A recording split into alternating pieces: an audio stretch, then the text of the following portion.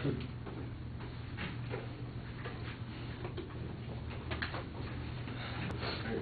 afternoon, everybody. My name is Tony, and uh, I guess it today. Okay, and my speech today is about um, on-campus housing. To begin, this fourth quarter of the school year 2010 and 2011, Cal Poly Pomona is implementing a rule that would require any first-year student who does not live within a set distance from the school to um, onto on-campus housing. However, I personally support a pro-choice decision um, on student housing, and for my main claim, I believe that the new rule, which requires first year to dorm, would be harmful to students in three ways. First, students would have an even harder time already with um, the increasing tuition without the additional phenomenal dormitory fees.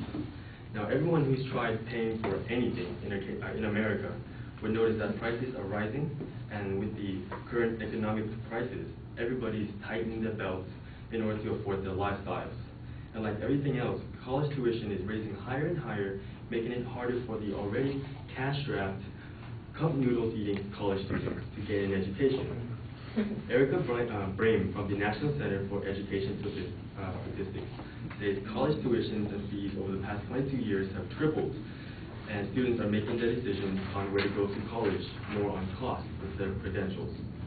Also, Reba Brown, the Assistant Director of Financial Aid from Drury University, announces that, um, that uh, families often have to rely on federal loans, which come through FAFSA, um, the free application for federal uh, student aid. But even with federal loans, students still have to pay back the money, and the loans don't always cover the entire tuition.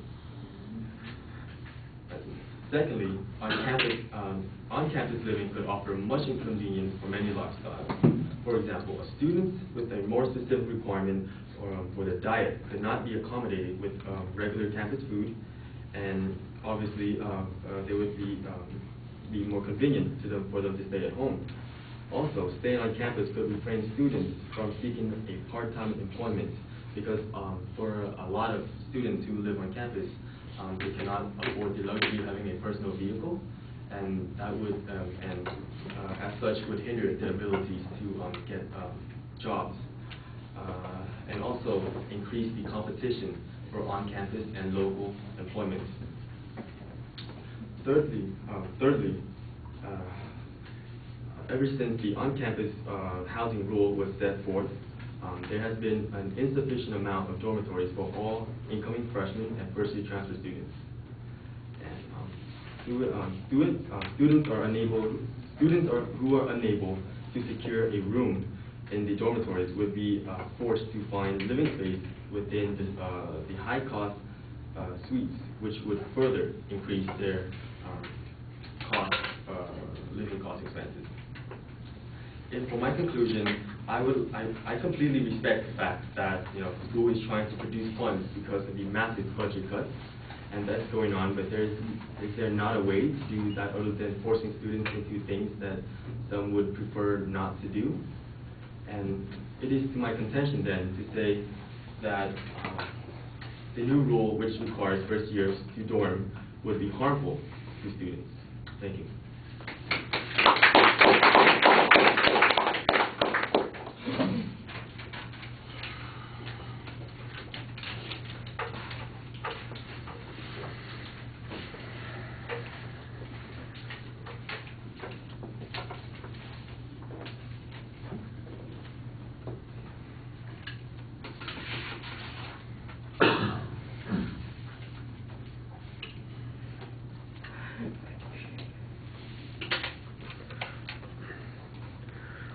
All right, the technical stuff on uh, structuring and claims is all fine. So you label the proposition clearly.